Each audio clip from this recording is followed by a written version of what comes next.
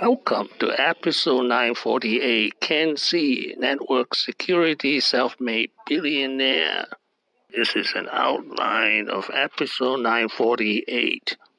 That's quite a big turn. I think it's a, uh, it's a, for me, just, just try to do something maybe a little bit different. Okay. Another great thing when you're asking questions, question is, Yeah, that's or when what- you answer a question is to redefine the question. And also kind of more easy to do because I am in the, in the network security space. Uh, it's lucky not in the semiconductor or some other space which need a lot of money, a lot of uh, uh, people, technology to do it.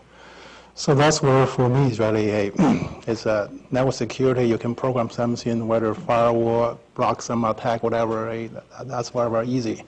Uh, so that's where 20 years ago I, I tried to start in this one, try to make some money. Because for me, I come from China. My parents are professors. They don't make much money. So that's where I try to get something, earn something myself. So that's where the consulting starting, get these things going. So Ken Xie was born in Beijing, China in 1963. His father is a professor at Tsinghua University. He earned a bachelor and master's degree in electrical engineering there. He earned a master's degree in electrical engineering from Stanford University. I think he dropped out of the PhD program to found three companies before coming back to get his degree. and then also in Stanford. Uh, so I started about five and a half years in Stanford. Uh, uh, supposed to finish a PhD, but I uh, dropped off. Um, and decided to make some money instead. Uh, actually, uh, it's uh, not in the early '90s. Uh, the the space growing so fast, so much opportunity, and whether the distraction or attraction. So. Uh, made me start my own business. It's by accident. It's originally just helping some friend uh, set up internet connection and uh, set up some security. But once I have a 20, 30 companies set it up, uh, it's become a business and they pay me monthly. It's a pretty good income. Then I end up just start my own company. The second network security firm he founded was NetScreen in 1997. It was based on one important innovation using ASIC chips. Application specific integrated circuit gives NetScreen a huge performance advantage over other firewall vendors.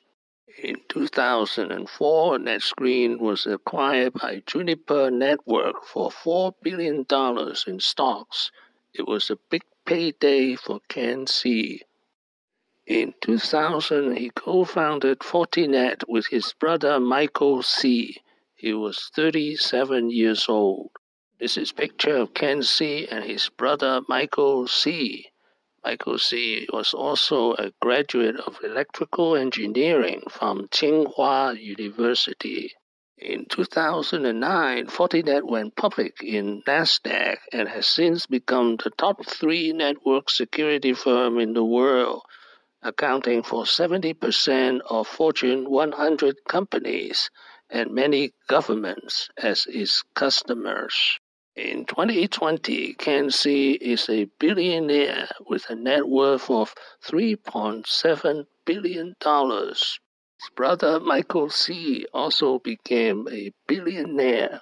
The next frontier, AI and Fortinet.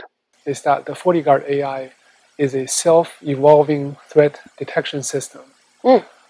It uses a machine learning to process incoming threat samples to determine if they are malicious based on the knowledge and the patterns that it learns every day.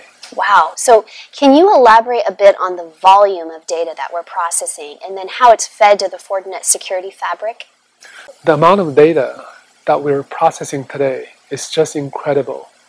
So the FortiGuard Labs typically receives over 2 million threat samples each week. And these samples includes um, the legitimate applications, uh, some duplicates and variants of the existing malware. Thank you for watching. Please subscribe and leave your questions and comments below.